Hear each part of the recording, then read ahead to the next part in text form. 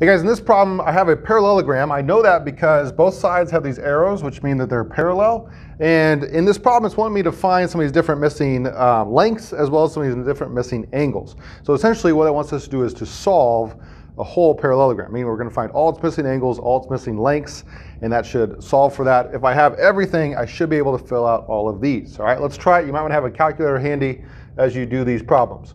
Uh, first off, I'm going to take care of all these different orange lengths. And to start off with, we know in a parallelogram, the opposite sides are going to be congruent. So this would be 22, this is 10, this is also 10. Okay, we also know the diagonals in a parallelogram bisect each other, meaning that one cuts the other one in half, and likewise so does the other one. So here, if this is 9, the other half is also going to be 9. If this is 19, this is also 19. Okay, this half and that half would be the same. Um, I think that is all of the lengths that I need. Now let's turn our attention to the angles.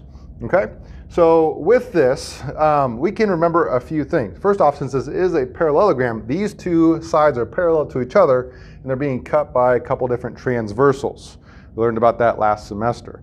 Now, that gives us alternate interior angles. Or in other words, if this is 36 degrees, its alternate interior angle up here is also going to be 36 degrees. Similarly, if this is 17 degrees, down here is also 17 degrees. And then you can add those together, right? 17 plus 36 and get 53 degrees for this entire angle A. Right? When I'm talking about the entire angle, I like to put that on the outside, whereas the different parts I put on the inside here and here. Okay, if this is 53, we have the opposite angles theorem, which says that the opposite one is also 53 degrees. And that would make sense because those are the same two numbers that we would add together to find those.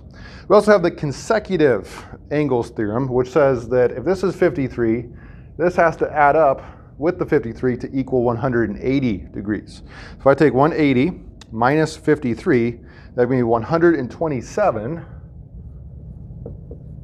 for all of angle M, and its opposite is also 127 degrees for all of angle T. Okay? Now it's helpful because we know this is 98 degrees. So again, if I take that 127 and subtract the 98, oops, 127 minus 98, that gives me 29 degrees left over for this leftover spot down here, 29 degrees. Okay, these both have alternate interior angles, kind of like these ones did up here, but these ones are gonna have alternates over there. So if this is 98, its opposite side, oops, 98, 98 degrees. If this is 29 degrees, it's going to be 29 degrees for its alternate interior angle. Okay, we have almost every single angle filled out except for the ones in the middle. Okay, so if I think of these as kind of four separate triangles being cut by those two diagonals, I would have a triangle here, in the top, the left, and the bottom. Uh, let's look at this right side. This is a 36, 98, and we're missing this angle right there. I'll put a question mark. To figure it out, I know that triangle has 180 degrees, so I can do 180 minus 36 minus 98, and that gives me 46 degrees left. All right, so here this would be 46 degrees there, and it would have a vertical angle of this one, also 46 degrees. Okay, then those form a linear pair with the one that's missing by this down here by the S and up above it at the top. So again, since that's a linear pair, we can do 180 minus 46, giving us 134 degrees there and there. And just to double check, uh, let's take like this bottom one, for example. I should be able to add up 134, 17, and 29. That should give me 180 degrees. Let's see if it works. 134 plus 17 plus 29 Yes, it does, 180 degrees, okay? So now I think, if I'm looking at this correctly, pretty sure all of our angles, all of our lengths are accounted for, so we can start to fill out some of these different missing ones over here. All right, so stick with me, let's try to do this. HT, well, you just have to find the letter H and T, that's 22. Once you get all filled out, these are pretty easy to fill in here.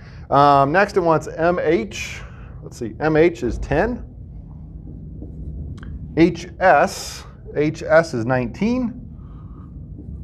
And MT, MT is this entire length, so the 9 plus the 9 is 18. Okay, now onto some missing angles. SAT, the hardest part is kind of finding which vertices we're using. SAT, so S, the A is up here and the T is down there. So SAT is talking about this angle, the 36 degrees. AHT, AHT, so that's the 17. And the MAT, let's try to get out of your way here. MAT, that's all of angle A. Remember that's on the outside, we call that 53. Uh, HTA, HTA is all of this angle T, 27, 127. Uh, MTH, MTH is this bottom part, 29. Um, AMS, A, where's the M? M and S, so 29 again, that's the alternate interior angle to that one right above it. TSA, uh, TSA is 46. And the last one is MSA. MSA is 134. Now, could you find some of these? These are all degrees, by the way. Could you find some of these angles without finding everything? Yes, you could, right? And sometimes if you only have to find one or two, that might be helpful.